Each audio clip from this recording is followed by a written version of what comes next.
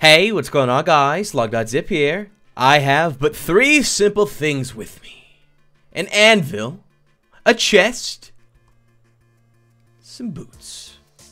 Now, if you've been keeping up to date with the latest Minecraft 1.9 snapshots, hopefully by watching my videos, you know that there's a new enchantment known as Frostwalker. Now, there's a really cool thing you can do with Frostwalker. And boots, of course. You can combine them on an anvil and get yourself Frostwalker boots, which uh, is made by doing that, not the other way. and upon wearing those, it will turn water around you into ice that will slowly but surely melt over time.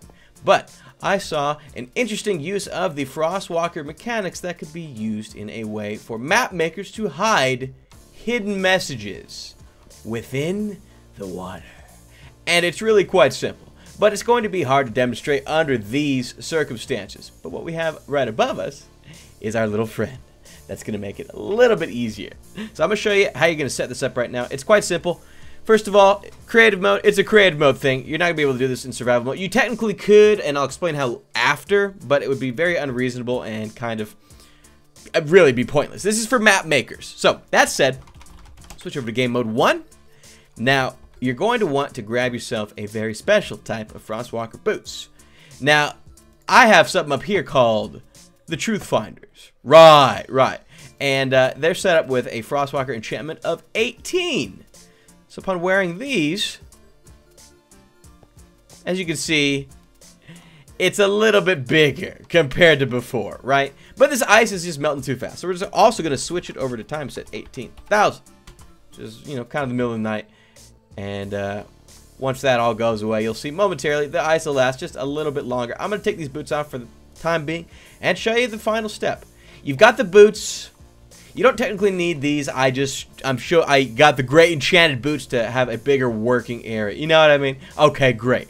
So, the way you hide messages is you just spell them out with blocks, block at a time in letters. And the command that you're going to use to do that is very simple. It is right here. It's also in the description of this video.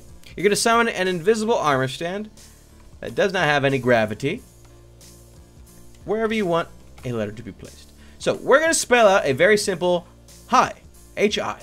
So we're spelling out the letter right now, and you can try and, you know, stay with me, I guess. Now, cool thing is, you don't have to enter this command over and over again. You can just press to open up your text or whatever, press up, and then it'll give you the most recent command. That's a cool little thing. You know, it's pretty crazy. So we're we, we're about to finish up the H. Right, right. Now there are, I mean, there's pretty weak weak sauce downside to this. First of all, not only will this work, well, let me explain the downside once I show you. We've now made our message. It's simple. It's just hi. So now we're gonna wear these boots, and you're gonna see. Hi. you can spell out secret messages. It's uh, it's actually really simple. Now the way it works is uh, the ice frostwalker random ice thingy effect won't work where there is entities. And since there is an invisible armor stand right here, it's not spawning in ice right there. Now again, the downside I wanted to remind you of is the fact that not only is ice not going to spawn there, but just in general, you won't be able to place. See, I'm trying to place blocks. You won't be able to place blocks at that location. So that is something that you need to just kind of know going into it. Great for hiding messages. Pretty much, pretty much only, see, I can't put it right there. Pretty much only useful for hiding messages. So it's just something to be aware of. You know, the more you know that sort of thing. But you can go pretty, can go pretty dangerous with it. Alternatively, you can grab the coordinates of where you want this block to be placed, and we'll do that right now so you can kind of get an idea. This stone block, will you see see how it says looking at blah, blah, blah, blah, right here, the minus 1754 for 1049. Well, you can keep that number written down, which I'm going to do. Actually, we're going to make this a lot more simple. You ready for this? It's going to be crazy. We're going to teleport to 0, 0 in this world, basically. Just to make it simpler for the video, you would need to kind of have an understanding of where the blocks are going to be in your world, but since this is just a super flat world of nothing but water, it's going to be a little easier. So, now instead of just spelling out by going where where you want the letters to be. You can just change up this command a little bit. Instead of having relative coordinates, you can just give it proper coordinates. For example, we want to place something at 0, 4, 0. And we're going to place an armor stand right there. And we're also going to place one at 1, 4, 0. And then we're going to place one at 2, 4, 0. And you're going to see that the line is slowly beginning to form. I'm going to place a block down here so that I can sit, stand, and then look, you'll see that is the line we formed. That is 2, 1, and 0, 0. So now that we have a base idea of what is going on here, I am going to take that a step further. And now we're going to change both. So we want to go back down 1. We're going to change this to 1. Right, that's good. Now I need to see what direction that's coming from just very quickly. You can you can determine this in much easier ways, but you know, it's not a big deal. So we're just going to flip around this direction now and everything's going to be hunky-dory. So we'll now go over and switch this back. We'll keep that at 1. We're going to keep this at 3. And then we're going to switch this back over to 0. And then 1. And we'll have the H by doing that. And it's going to be a beautiful thing. And then now we're going to switch over 2. Give itself a space. We're going 2 to the right. We're going to do the 1. Keep the 1 there. We're going to do 2 we're going to do 0. Now, if I've done this properly, and I probably have not, we'll have spelled out hi. Let's see. yep, I didn't do it right, but you... Oh, I'm a failure.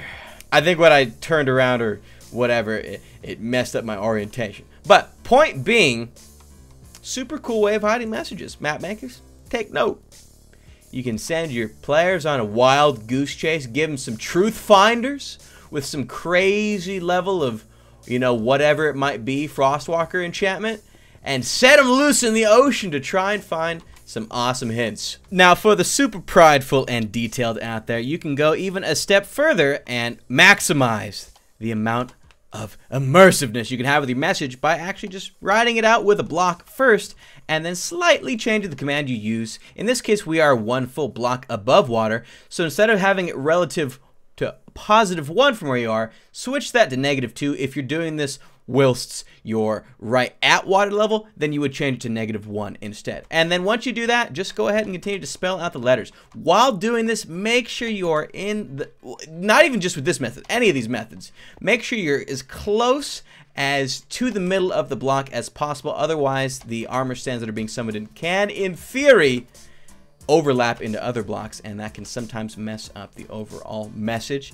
And then once you've done that you just go back into creative mode. I mean if you want you could do it in survival mode. And just delete all your marker blocks and you'll be left with your hidden message. Oh and I gotta say it is been an honor creating this hidden message and I can't wait to show you so we're gonna break all these blocks. It's simple enough. We're literally just going to, boom. You're just going to take care of it like this, baby. And it's all just going to come together quite nicely. Come on.